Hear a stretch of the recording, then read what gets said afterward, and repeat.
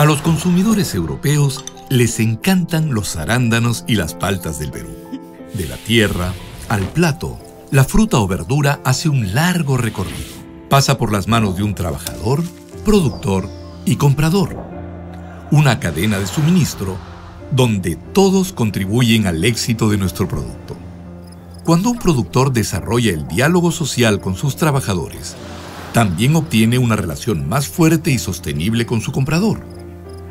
Una llave que abre una comprensión más profunda sobre la contribución de cada uno en la cadena de suministro.